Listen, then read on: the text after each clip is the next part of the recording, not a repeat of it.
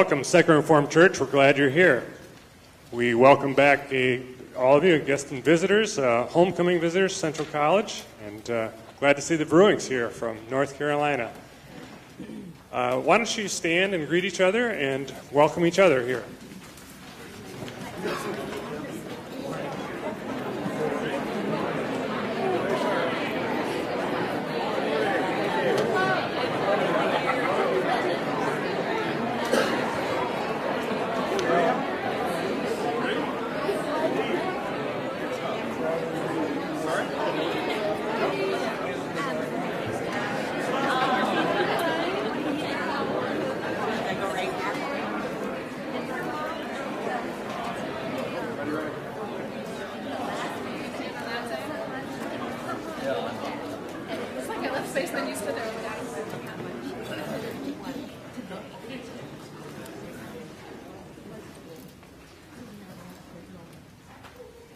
Pastors Steve and Sophie are in Seattle this week visiting family.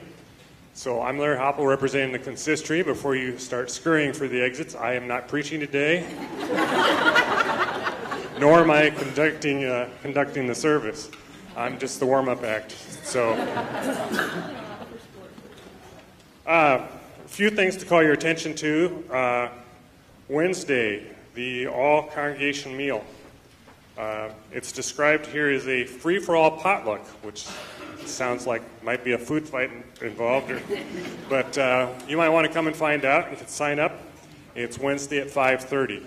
Uh, before I forget, those of you in the of pews, sign and pass the friendship pads. Larry, it's the 10th. It's October. 10th. October. I'm sorry.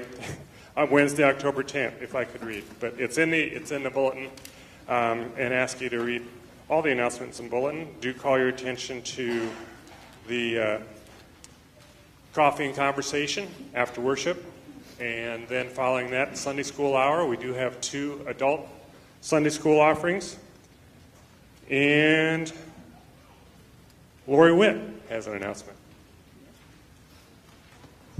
Okay, thank you, Larry, and good morning, everyone. Um, I wanted to draw your attention to the second announcement under announcements. Um, on Monday, October 8th at 3 in the afternoon, such an odd time, but um, there's going to be a coffee time here at church, um, mainly because it fits best in the schedule of our two visitors who are coming um, Titus, Reverend Titus and Mary Baraka from Uganda. And um, I first, I have to tell you, I first met Titus and Mary last year when my brother, um, who is uh, president of Words of Hope, was looking for a place for them to stay. They were coming through Pella. He wasn't even coming with them, and they were coming through Pella. And I, you know, I thought, oh my goodness, you know, um, I, I always. I, School is busy. My house isn't good enough. Whatever, yada yada yada. Right. So I, but I thought, okay, well, um, yes, because this would be a good thing to do. And um, they came, and I know they're very good friends of his. And so, anyway, we had a, a delightful time, but they also were meeting with various people in Pella, and they met with Pastor Steve and some other, and Sophie and other people in Pella. And anyway, um, they, uh, he's a pastor in Uganda.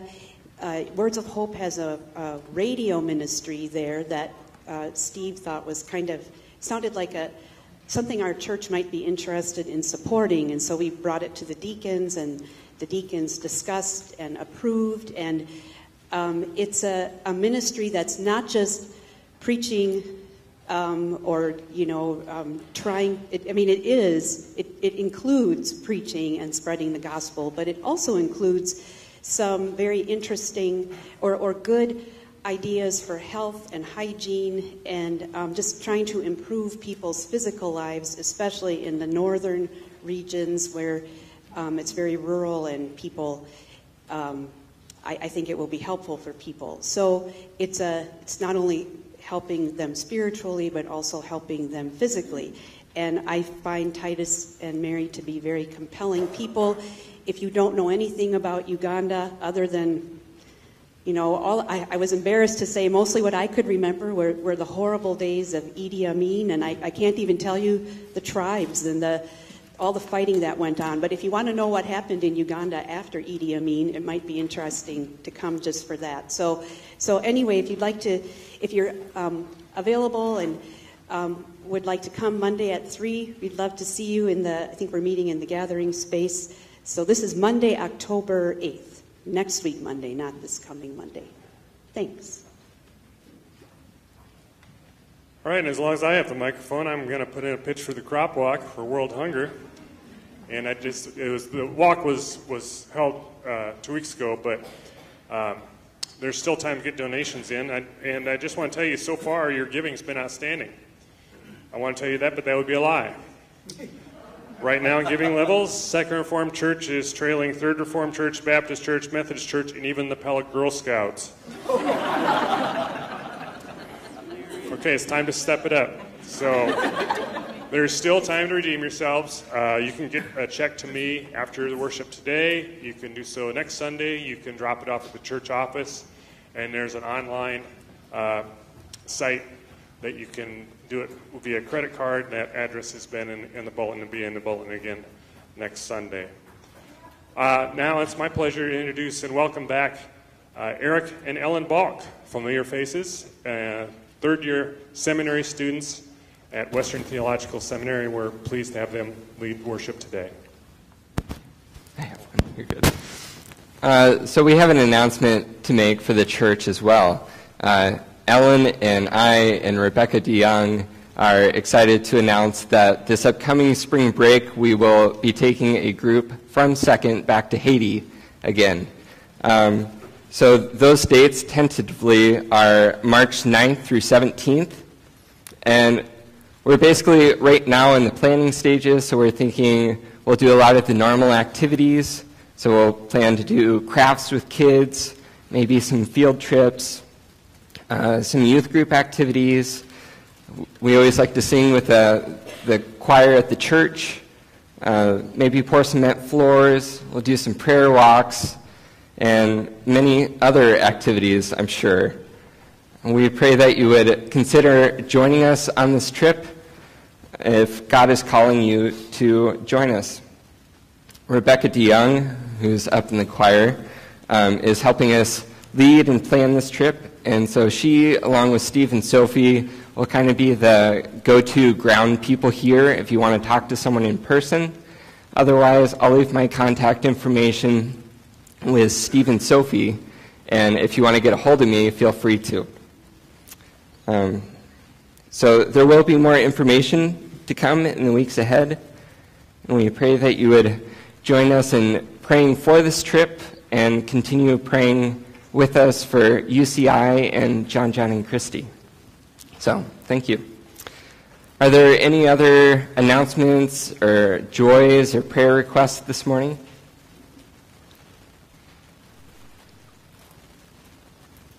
Let us worship God. Our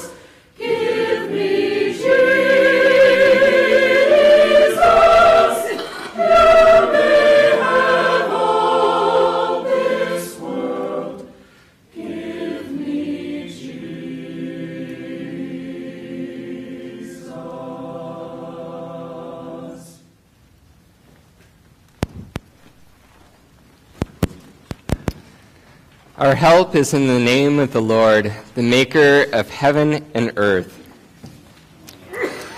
Shout for joy to the Lord, all the earth. Worship the Lord with gladness. Come before him with joyful songs. Know that the Lord is God. It is he who made us who we are. We are his people, the sheep of his pasture. Enter his gates with thanksgiving and his courts with praise. Give thanks to him and praise his name. For the Lord is good, and his love endures forever. His faithfulness continues through all generations. Let us stand together and sing hymn number 87.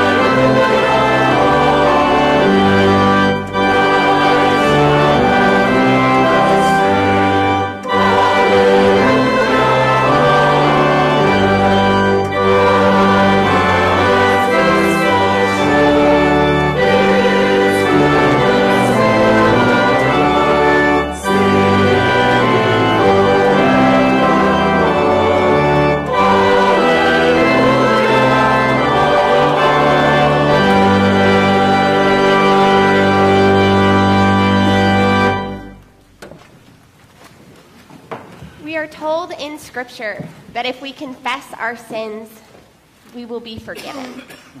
Let us join together today in our prayer of confession as printed in the bulletin.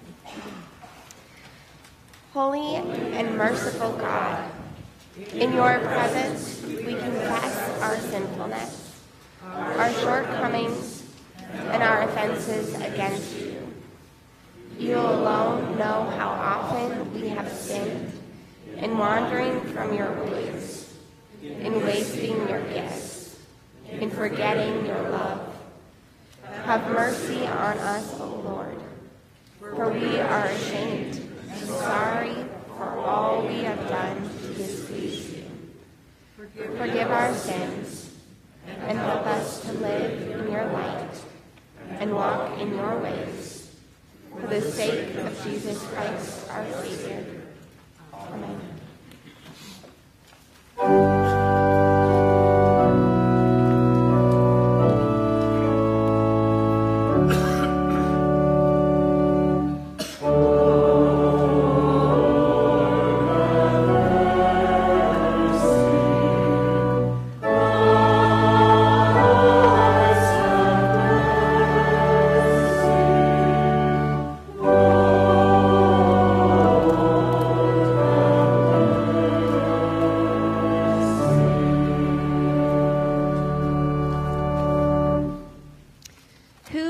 Heaven or on earth has the power to condemn? Only Christ. And Christ came for us, Christ died for us, Christ rose for us, and Christ reigns for us. Hear the good news of the gospel. In Christ we are forgiven. Amen. And as forgiven people, God calls us to live and gives us certain guidelines that we can live by. Hear these words from the book of Micah. What does the Lord require of you? To act justly and love mercy and to walk humbly with your God.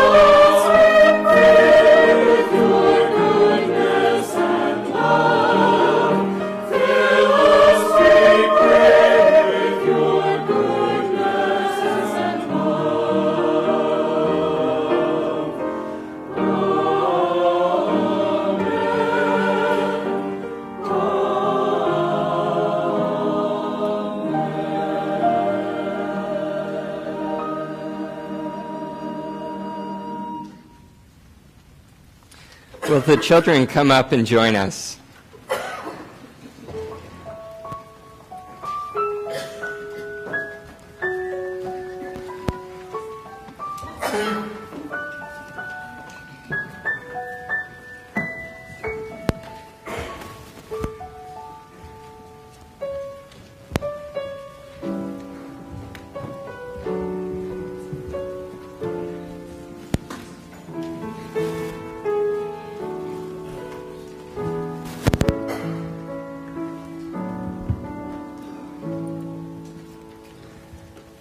Good morning.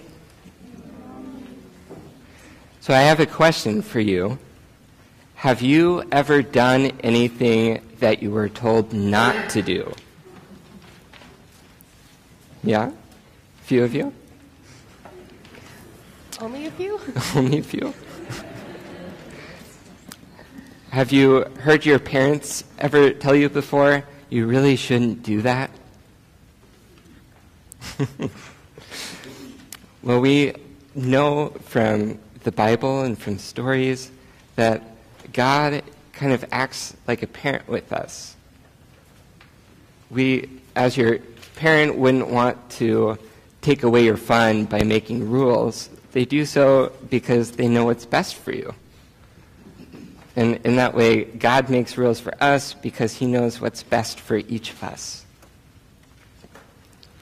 So, yeah, as we go forward in this week, if you think about the things that you're supposed to do, think that your parents and that God makes these rules because He wants the best for you. So, can we pray?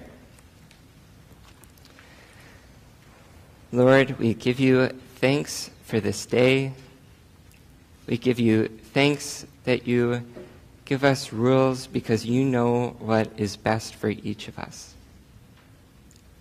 We pray that you would be with us in this next week and that we might love you and know your love each and every day. We pray this all in Jesus' name. Amen. Would you stand up and face the congregation? Congregation, would you bless your children? The Lord cares about every little bird. The Lord cares about you too. You may go back to your seats or.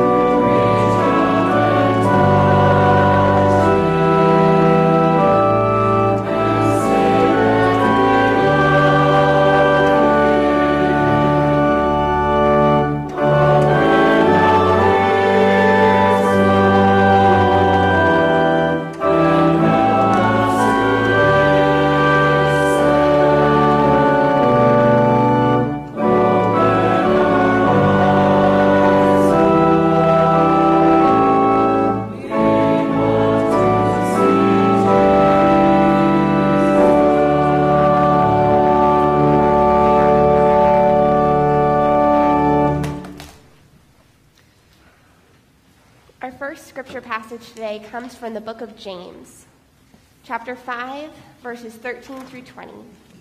If you're in your Pew Bibles, it's on page 231. Hear these words from the book that we love. Are any among you suffering? They should pray. Are any cheerful? They should sing songs of praise. Are any among you sick? They should call for the elders of the church and have them pray over them, anointing them with oil in the name of the Lord.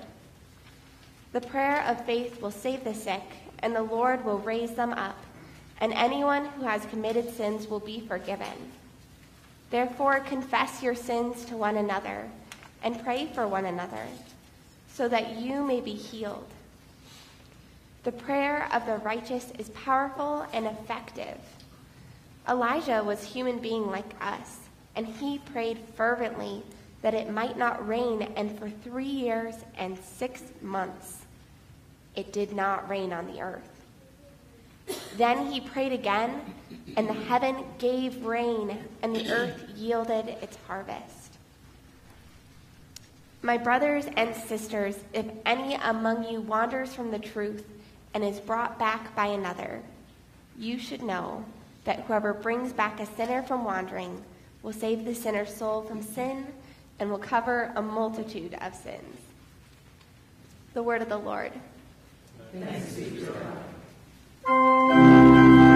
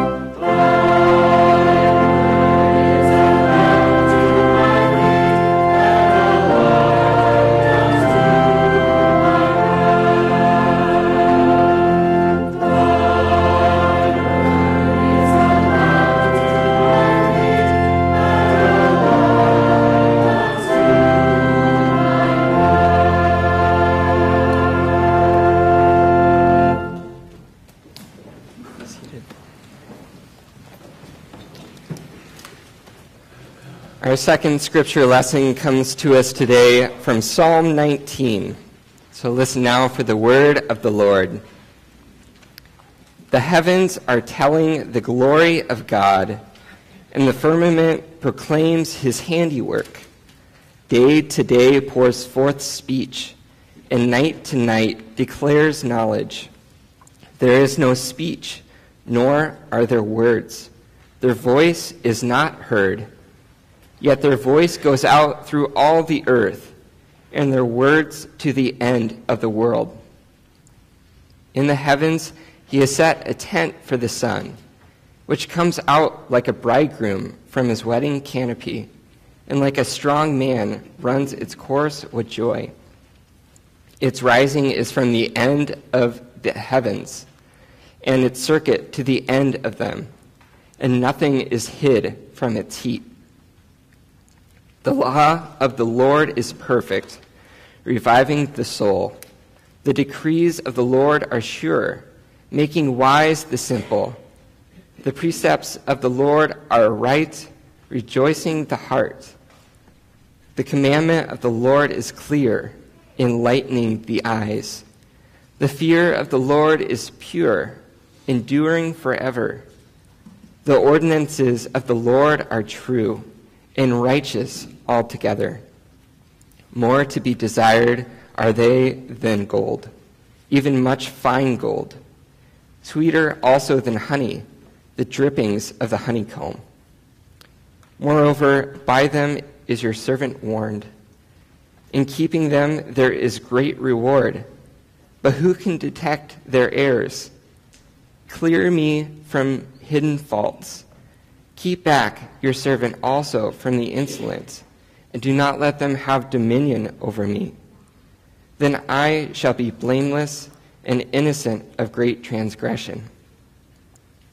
Let the words of my mouth and the meditation of my heart be acceptable to you, O Lord, my rock and my redeemer.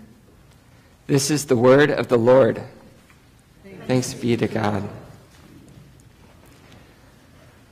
All of creation is praising God. It is not something that I often think about, yet everywhere we look, creation is praising God. Just think about what that means. Creation, not just us, not just us here in this building, but all of creation. Not just the animals and us, but all of creation. It really is a lot to take in. I'm reminded of my time this summer in Scottsbluff, Nebraska, where Ellen and I served as pastoral interns there for 10 weeks. There was one weekend where Ellen had to be out of town, and Daniel, who is one of the people our age at the church, invited me to have an encounter with nature, whatever that means.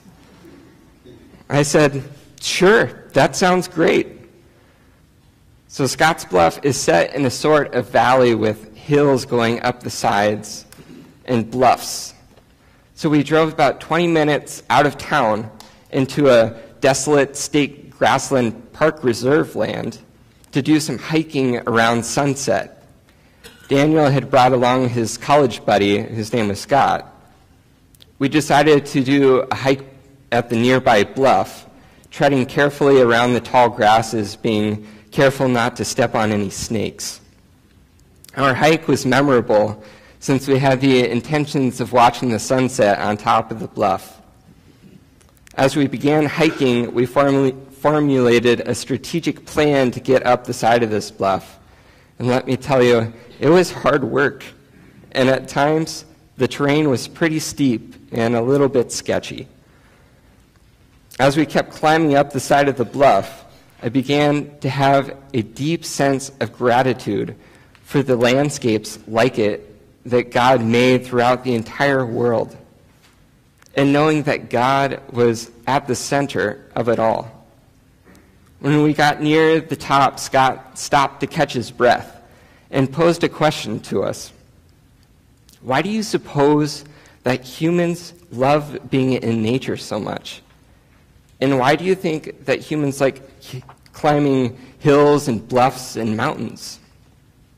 He just turned around and gazed out at the beautiful views of the surrounding hills and continued, I suppose it is so that we can take in more of the beauty and overwhelm our capacity to process and appreciate that beauty. It was a profound statement. I myself did not have a response, but I think Scott was on to something. Scott was a self proclaimed atheist, but he saw something special in that moment, something that he could not quite put his finger on and something that took me quite a while to process. Later, I would consider what it means to overwhelm my capacity to process the beauty of the world. Perhaps there was just so much to see from that vantage point, and knowing each foot of space that I could see contained so much intricate beauty. In that moment, I was standing there in awe and wonder of the beauty of God's creation. I'm sure we can all think of places where we have been in nature and simply stopped and had a few moments in silence just to take everything in. It is a deeply spiritual moment to hear the breeze, to hear the birds singing, or the rustling of the leaves. It is in places like this when it is easy to understand and yeah, get an understanding of what the psalmist was talking about. Creation's praise is not isolated to this psalm either, but it is a consistent theme within the book of Psalms as a whole. these are moments that just overwhelm us with awe and wonder. And it is truly amazing to see and think about all of creation praising God's name. There is something about just sitting in nature and seeing the majesty of creation, joining in praise for who God is, and sitting in silence in nature is a unique way for us to join with creation in praise in a way that does not require words from us. On a more local level, I am reminded of the outdoor services that we do in this church every sun, summer. I was fond of the idea of being outside in nature and probably being outside these walls of the sanctuary and having the joy that of knowing that we could play on the playground after the service and eat a lot of really good food. There was one specific worship service that I remember best, though. And it was a single thought during that service that struck me. If you remember when Pastor Rick interned here several years ago, I remember him standing up after we sang a hymn and recognizing that nature was joining in praise with us, that the birds were singing along with us. This really has stuck with me through the past several years. Creation is always joining in praise. Or perhaps it would be better to say that we are joining creation in praise. In this passage, the psalmist recognizes that nature praises God, but that it does so within the limits that are given to it by God. Limits, as I will refer to several times in the sermon, is not a bad thing in any way, shape, or form. In fact, limits are a good thing and some, something to give praise to God for. Limits here is the idea that God has given all things, all of creation, boundaries. This includes humanity, it includes each one of us. The limits God gives us is in a way that a parent might make limits or a rule for a child. God knows each of us intimately and knows what limits need to be put in place for humanity to thrive and flourish. Limits are not set to punish us or to make our lives more difficult in any way, shape, or form. From the freedom that we all long for, limits are set by our all knowing and all powerful God. These limits are set for us and for all of creation for the purpose of our flourishing as God intended in the very beginning of creation. And it is in this passage that we see these limits. We see that the sun has limits, that the sky has limits, that the earth and all that is in it has its limits and works accordingly. Creation praises God within its boundaries, the cycle of a day, the stars being in their place, the moon cycling around the earth. As one of our professors at seminary says, creation is praising God by creationing. Birds do it by birding. Tigers do it by tigering. Creation, animals, birds, fish, reptiles, insects, all praise God by simply doing what they were created to do. So, how do we do what God intends for us to do? In verse 7, the psalmist takes an inward turn. The psalmist addresses the law and the commandments of God. But what does the law have to do with praise? What does the law have to do with creation creationing? In Hebrew class last year, we sang a song about the law. It was a reminder to the Hebrews and to us that the law keeps us on a path, that it keeps us from wandering off the path set before us by God. The law is our guide that keeps us on our way.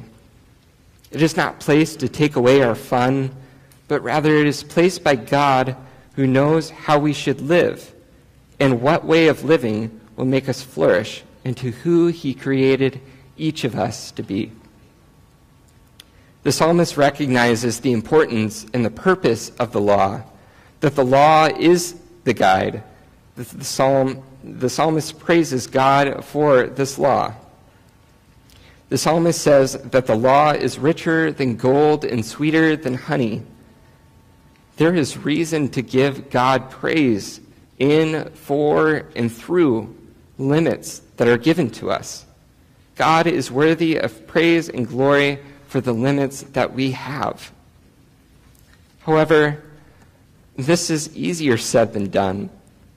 There is a stubbornness in us all, it seems, that makes limits something that we want to push, like a child that tests the limits and the boundaries of the rules that a parent gives, or like a dog who knows better than to be in the kitchen and is often reminded, but who keeps trying to creep back into the kitchen little by little.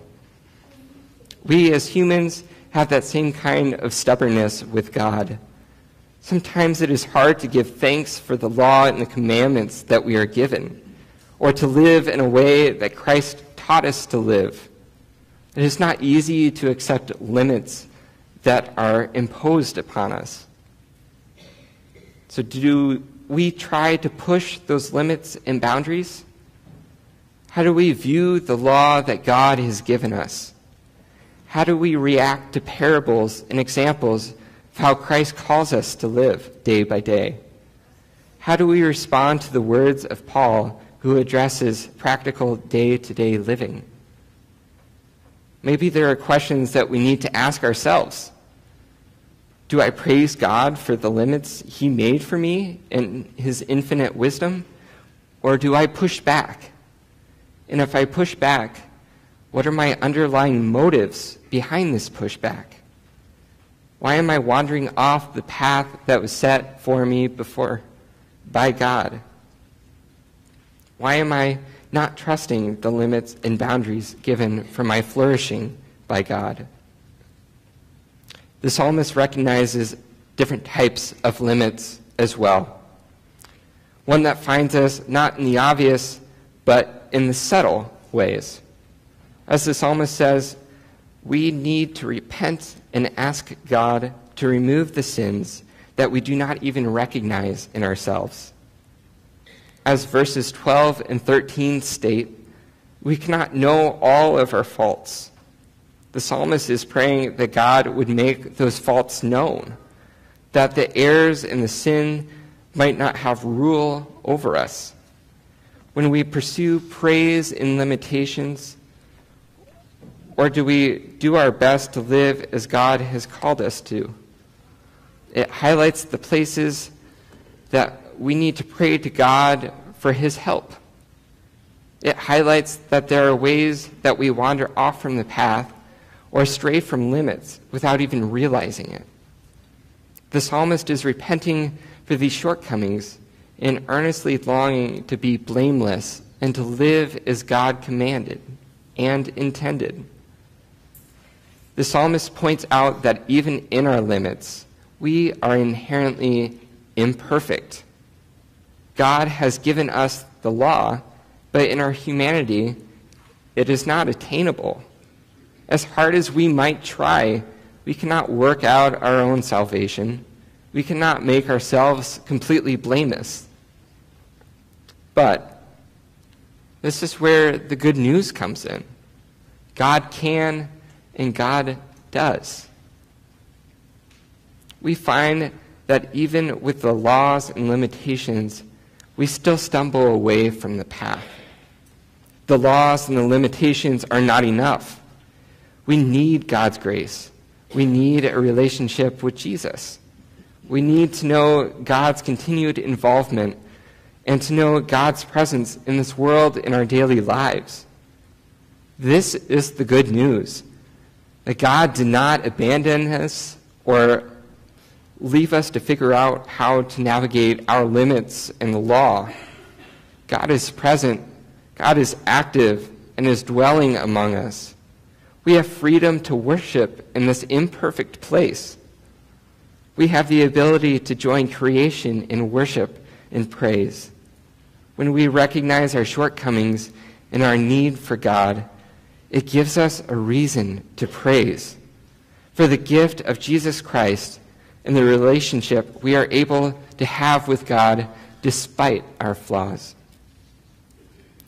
It is verse 14 that turns our attention to this.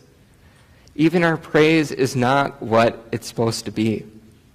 We need God even in our praise. We need God to continue to guide our hearts and minds in a way that is not only beneficial to Him and His glory, but to leading us to a place of flourishing, to be exactly who we were created to be. This is the steadfast love of the Lord that never ceases.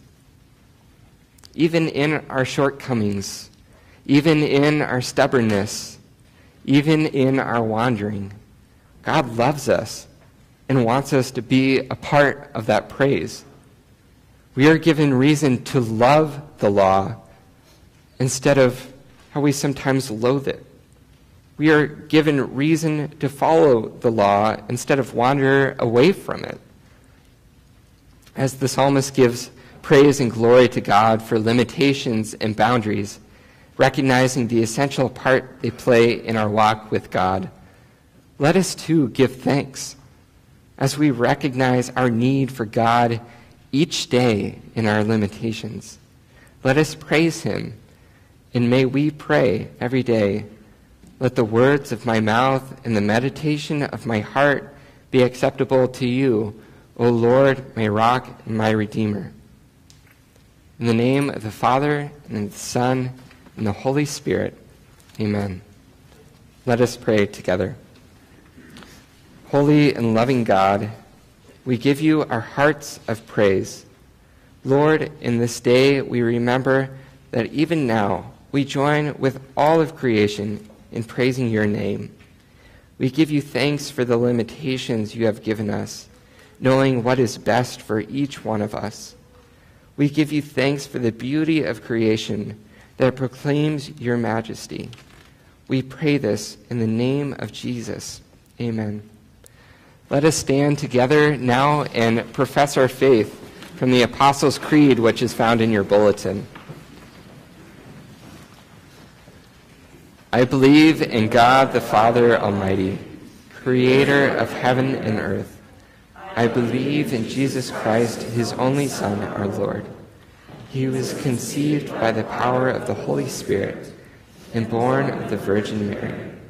He suffered under Pontius Pilate was crucified, died, and was buried. He descended to the dead. On the third day he rose again. He ascended into heaven and is seated at the right hand of the Father. He will come again to judge the living and the dead. I believe in the Holy Spirit, the holy Catholic Church, the communion of saints, the forgiveness of sins the resurrection of the body, and the life everlasting. You may be seated.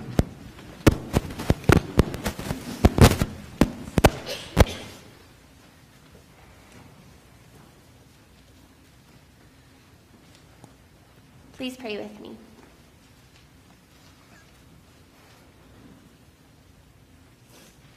Lord, you are good and you are just and you are compassionate. You are slow to anger and abounding in steadfast love. You are the creator of all things, and you sustain us every day. You created the seasons, the falling rain, and the turning leaves. You gave us such a variety of creation to interact with, to praise alongside.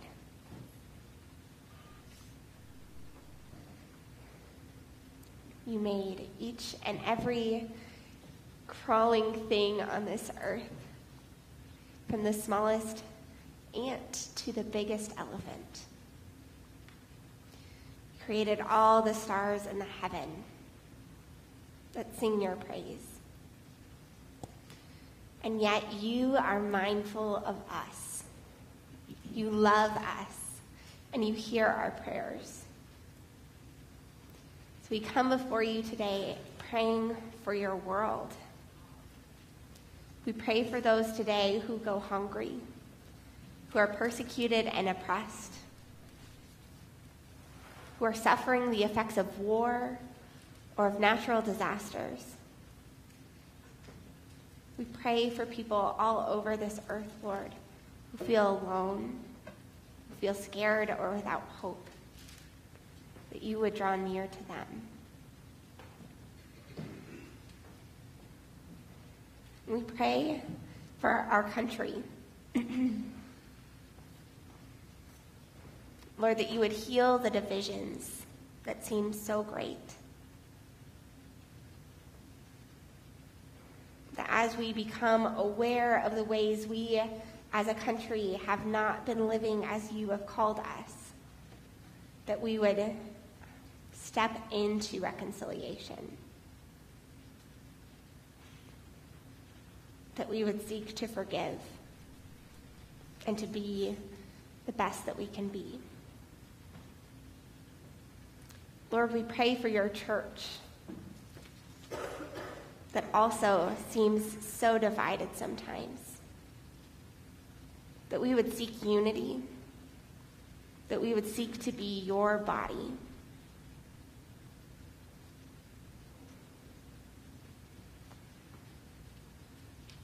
Lord, we pray for this church, for second, that we would be a sign of your coming kingdom and how we live together here and now.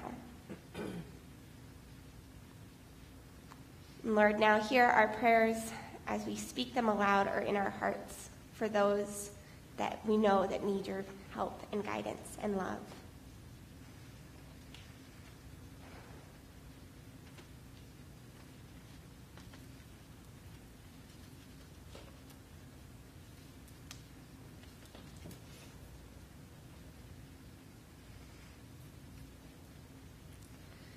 Lord, we come in front of you today also acknowledging that we need you, that we need your help and your compassion, your guidance and your forgiveness.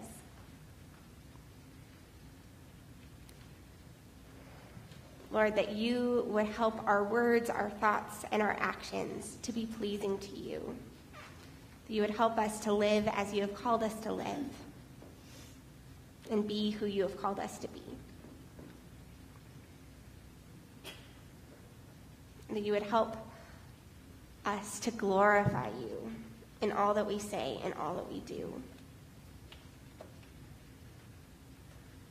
That you would hear us as we pray the prayer that you have given us. Our Father in heaven, hallowed be your name. Your kingdom come, your will be done on earth as it is in heaven. Give us today our daily bread, forgive us our sins as we forgive those who sin against us.